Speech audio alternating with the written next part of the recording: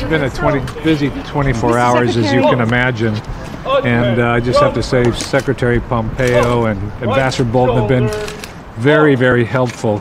But I think, as you can tell, we have an international situation there in the Middle East. It's not a U.S. situation. And the focus for myself and Ambassador Bolton and Secretary Pompeo is to build international consensus to this international problem. And as all of you are very aware, the Department of Defense, one of our roles is to set the conditions for diplomacy.